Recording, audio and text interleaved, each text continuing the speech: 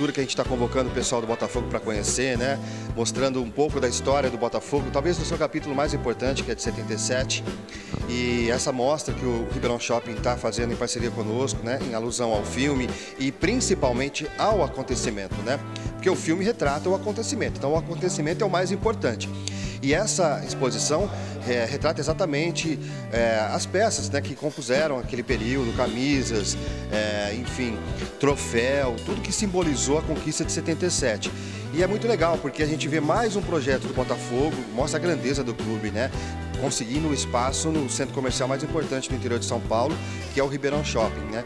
Então a gente tem essa exposição que vai ficar um mês, né, num espaço bem privilegiado, para poder levar a história do clube para todas as gerações. Né? Aqueles que conhecem vão ver mais uma vez e quem não conhece vai entender um pouco o que foi essa história do Botafogo em 77. Importante é, agradecer aqui, ressaltar o empréstimo feito pelos colecionadores, né? Eles que são os donos dessas camisas. O Gustavo Colucci, por exemplo, é um botafoguense apaixonado que tem essa camisa e tem uma outra camisa que também está aqui na exposição.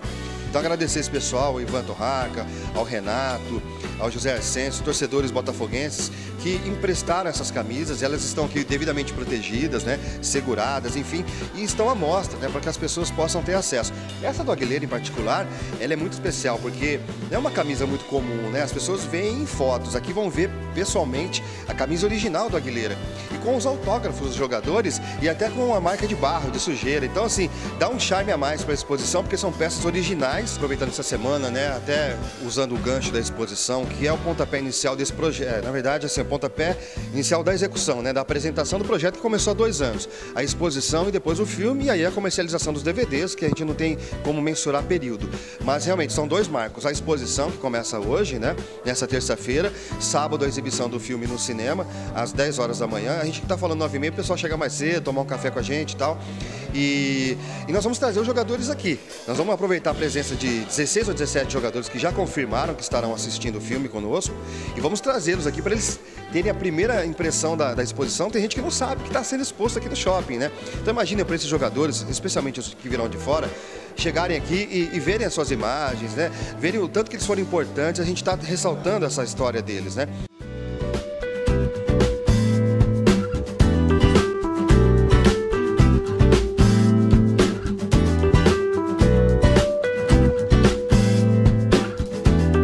Agradecer ao Ribeirão Shopping né, por essa parceria, ao jornalista Igor Ramos, que é um, um grande estudioso da história do Botafogo. Né? Ele já fez livros e agora com a edição desse, desse documentário e essa exposição, né, o Botafogo então agradece. É uma oportunidade para aqueles que não, não vivenciaram essa época, eu era garoto, então eu estou falando de algo que mexeu comigo na adolescência, mexeu com a maioria dos, dos torcedores. Uma época áurea do, do, do futebol brasileiro, do futebol paulista e que o Botafogo é, cresceu muito nesse período na disputa dos campeonatos nacionais, né? É, o Sócrates, Zé Mário, isso deu, deu muito visibilidade ao clube e com certeza são os responsáveis pelo, pelo, pela continuidade da nossa história aí tão bonita que desencadeará no nosso centenário o ano que vem. Literalmente, né, aquele time foi montado rapidamente, né, quando o Botafogo foi convidado para jogar o campeonato nacional.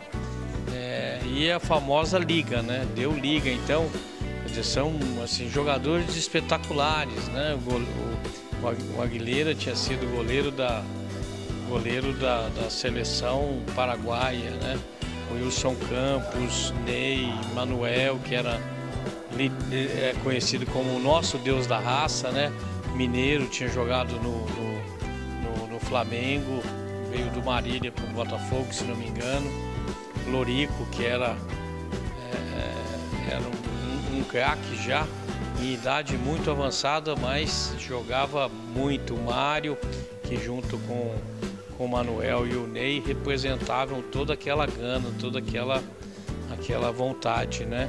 E jogadores que eram diferentes, né? O Zé Mário e o Sócrates, que, que davam toda a qualidade maior ainda ao time. E o Motoca, que tinha uma função tática muito importante, e o Arlindo Fazolin, que era o centroavante, aquele centroavante é, que ficava dentro da área, chutava com os dois pés, muito oportunista, né?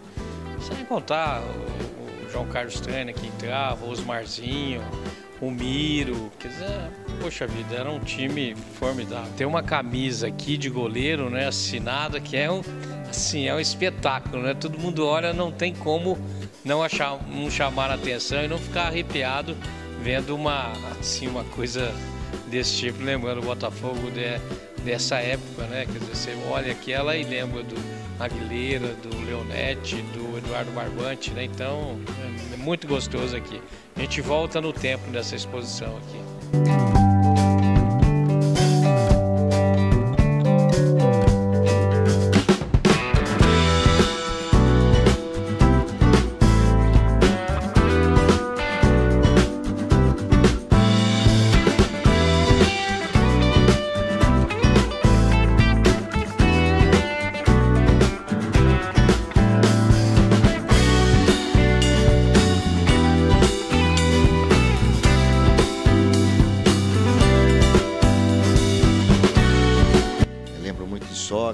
Lembro que eu assisti esse jogo contra o São Paulo pela TV, pela TV Cultura, em casa, uma quarta-feira à noite, com a narração de Walter Abraão.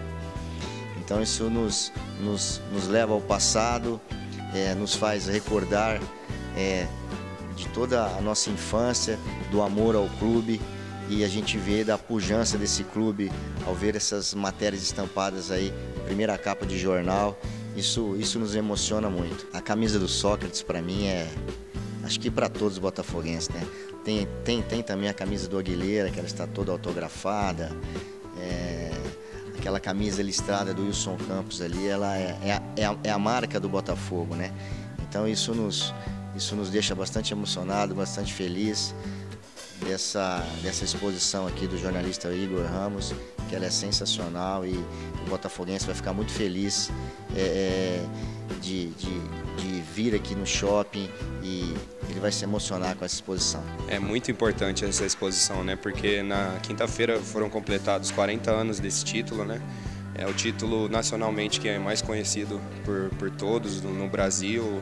A torcida botafoguense tem muito orgulho desse título, né? Então é uma forma de lembrar de todos os, os jogadores, diretoria, toda aquela geração que marcou época no Botafogo e é uma forma de homenagear essas pessoas que ainda estão vivas, né? Então eu acho que a melhor parte de fazer uma homenagem é quando a pessoa está viva ainda para ela conseguir presenciar essa, essa homenagem, né? Então, eu acho que é uma forma de agradecimento de tudo que esse elenco, diretoria fizeram pelo clube. Né? Para o torcedor atual, é muito bacana vir e conhecer os ídolos, porque muita gente fala, ah, o Sócrates, o Zé Mário, aí a pessoa vem, conhece quem foi Sócrates, quem foi Zé Mário, vão ter imagens para recordar a época, saber o, o que aconteceu, porque muita gente fala, ah, o Botafogo foi campeão em 77, mas precisa presenciar a história para saber como que foi aquele título, né? A importância do título.